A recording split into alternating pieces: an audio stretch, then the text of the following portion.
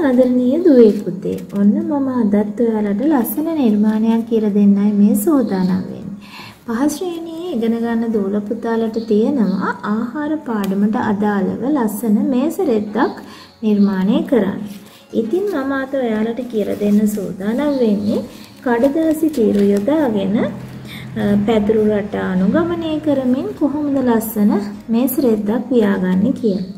ඉතින් අපිට කඩදාසි තීරු වගේම රෙදි පාටි පොල් කොළ පන් ඒ වගේ දේවල් යොදාගෙනත් මෙන්න මේස රෙද්ද නිර්මාණය කරන්න පුළුවන්. ඉතින් මම අද ඔයාලට කියලා දෙන්න සූදානම් වෙන්නේ කඩදාසි තීරු යොදාගෙන කොහොමද ලස්සන මේස රෙද්දක් පියාගන්නේ කියලා.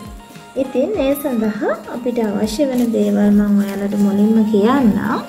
අපිට මුලින්ම ඕන වෙන පුතේ වාට A4 කොළ දෙකක් පැන්සලක් ළඟට ගන්න අඩි රූල කතුර ගම් බෝතලේ.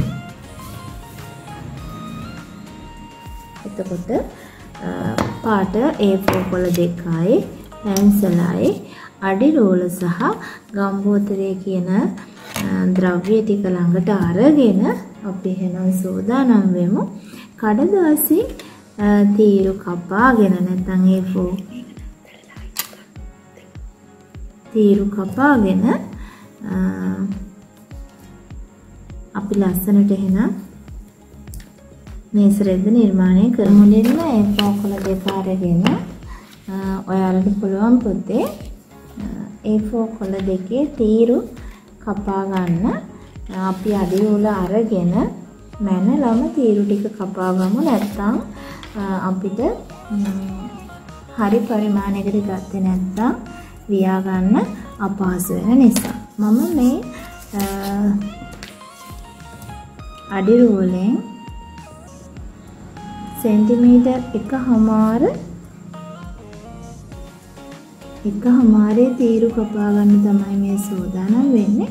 ඕගොල්ලන්ටත් පුතේ පුළුවන් අඩි රූල අරගෙන පැන්සලෙන් මේ විදිහට සෙන්ටිමීටර් එකහමාර එකහමාර ලකුණු කරගන්න.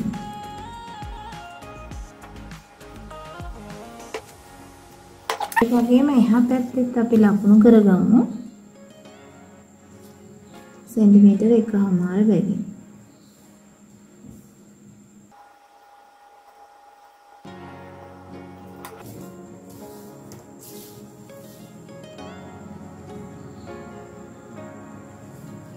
ඊට පස්සේ අපි පැන්සලෙන් මේ විදිහට තීරු ටික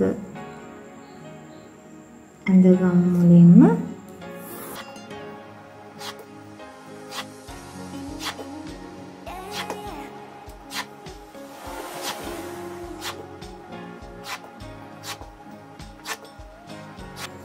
එක කොළයක තීරු ටික ඇඳගෙන අවසන් කරා. අනිත් කොළෙත් අරගෙන ඒ ගානටම අපි ඇඳගමු.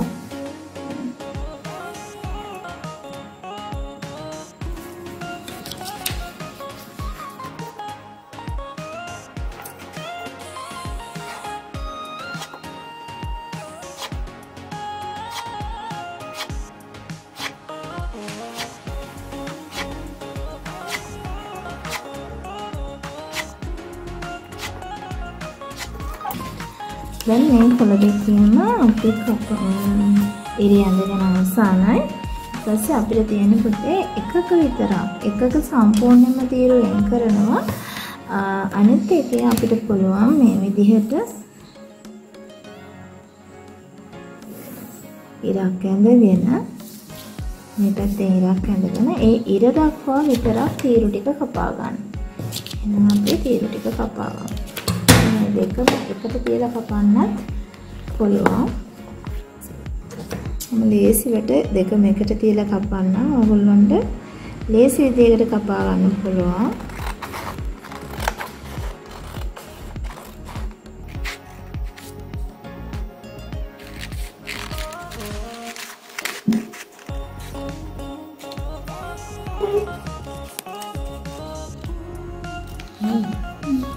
මේ ආකාරයට තීරු වෙන් කරන්නේ නැතුව එක කොලයක් කපා ගන්නවා. ඉතුරු කොලේ ඊට පස්සේ අපි කරන්නේ මේ විදිහට තීරු ටික වෙන් වෙනකම්ම කපා ගන්නවා. විදිහට තීරු ටික වෙන් කරලා කපා ගන්න.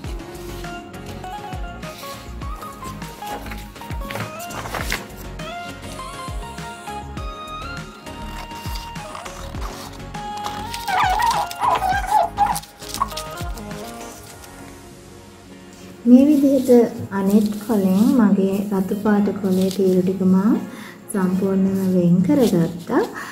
අනෙත් කොලේ සම්පූර්ණයෙන්ම වෙන් කරගත්තේ නෑ මේ විදිහට පුංචි තීරුවක් ඉතුරු කරලා තමයි කපාගත්තේ. දැන් අපිට තියෙන්නේ පොතේ මේ විදිහට මේක තියාගෙන මේ කපාගත්ත තීරු ටික මේ විදිහට වේයා ගන්න. බලන්න එකක් ඇර එකක්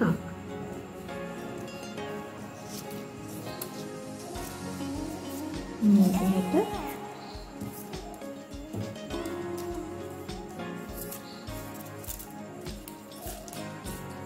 එකක් කර එකක් ඉරිනසේ අපිට දාගන්න පුළුවන්.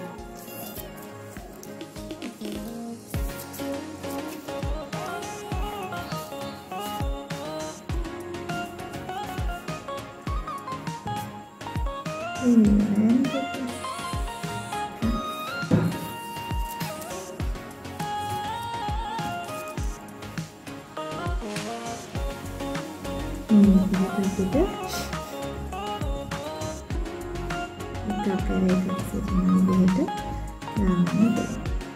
ඊට පස්සේ තව ඉතින් තව තීරුවක් ගන්නවා. ඒකත් මේ එකක් කරේ එකක් මේ විදිහට ලස්සනට ගොතාගෙන වියාගෙන යනවා. යදුරු රටාවක් වගේ. පැදුරක් වෙනවා වගේ තමයි.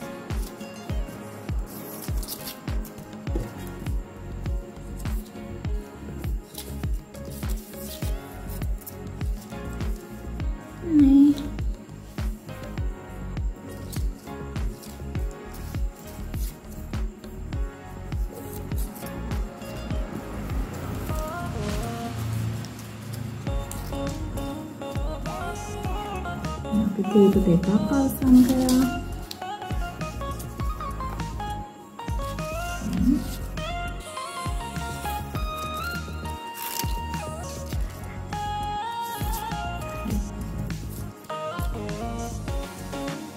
Hãy subscribe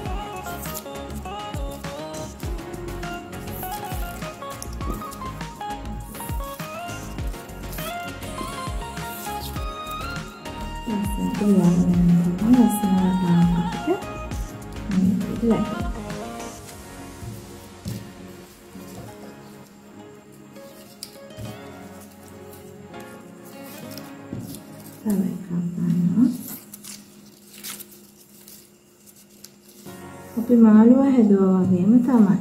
එකක් කර එකක් මේ විදිහට ලියාගෙන යනවා.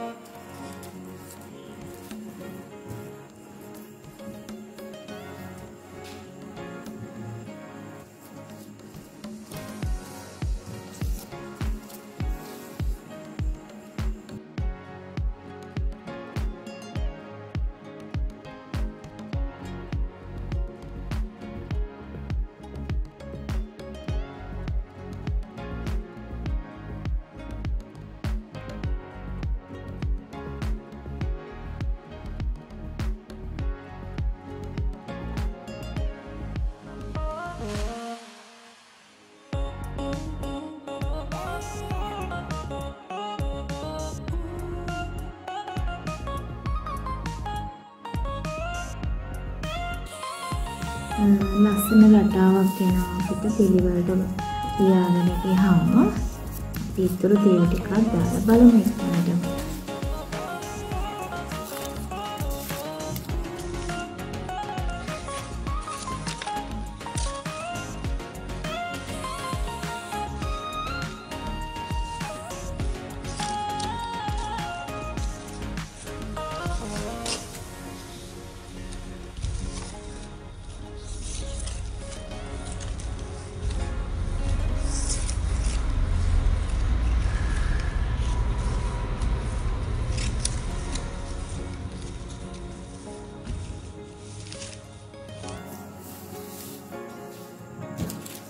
තීරු තුනක් ඉතුරු වෙලා තියෙනවා. ඒ තීරු තුනත් අපි මට දාලා මේ ලස්සන මේසෙට වියලා මෙහෙම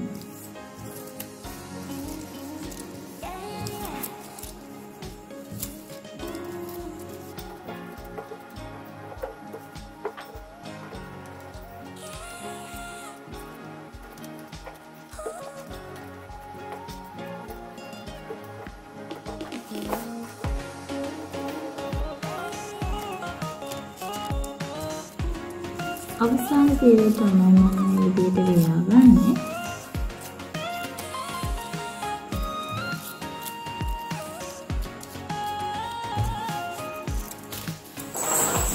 ඔන්න කපාගත්ත රතු තීර ටික පුතාගෙන අවසාන.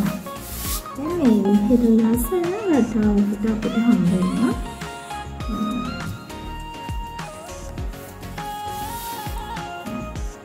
ඊට පස්සේ පුතේ ඔයාලට පුළුවන් මේක මේ විදිහට මේකේ වැඩි කොටස් ටික කපන්න පුළුවන්.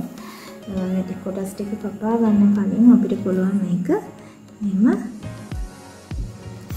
උඩ තියෙන කොටසට මේ විදිහට අලව ගන්න. එතකොට ගැලවෙන්න තියෙන ඉඩ කඩ අඩුයි ගැලවෙන්න බලන්නේ නැහැ.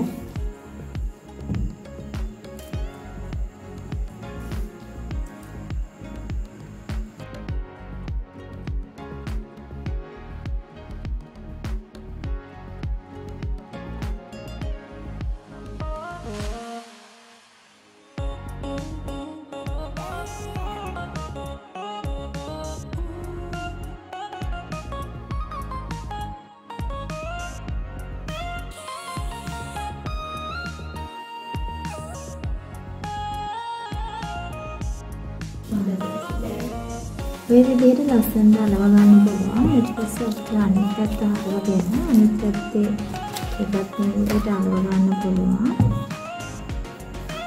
ඒ විදිහට අලව ගන්න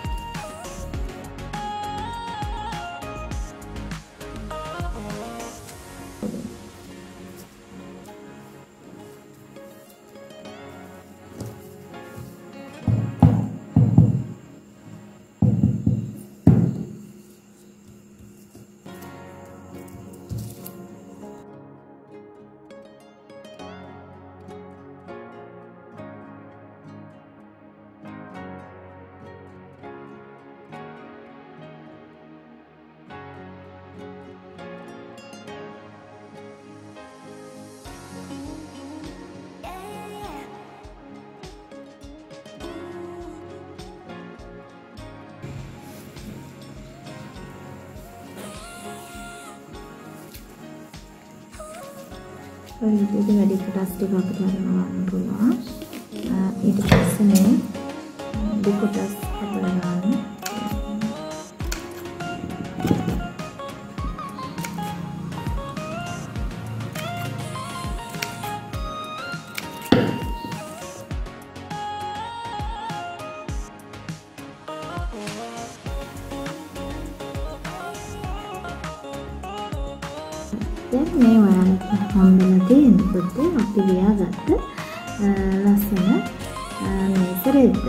ඉතින් මේ විදිහට අපිට පුළුවන් මේක වටේට වෙන පාටක පටියක් තීරුවක් අලවල තවත් ලස්සන කරගන්න.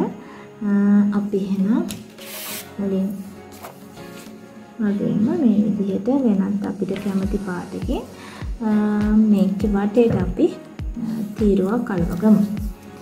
ඒකටත් අපිට පුළුවන් අර මුලින් වගේම සෙන්ටිමීටර් එක හමාර වැගෙන් ඇඳගෙන තීරු ටික කපා ගන්න.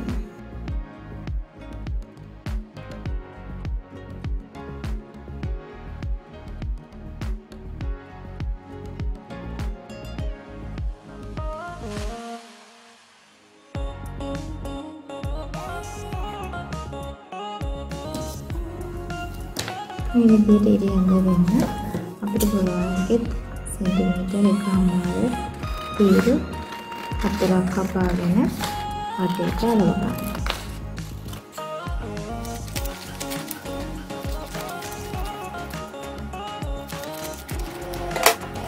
මේ විදිහට තීරු හතර මම කපා ගත්තා. තීරු හතරනේ ඉතර පැත්තට තියලා අලව ගන්න පුළුවන්. අපි එහෙනම් තීරු හතර අලව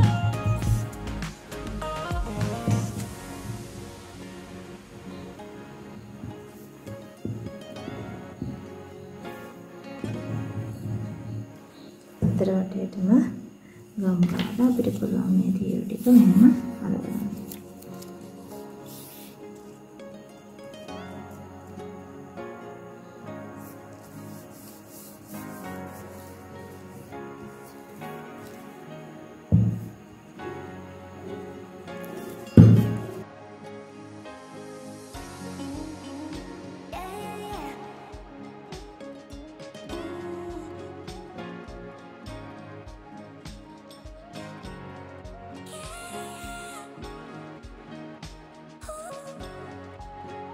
අපි අයින් කරගමු.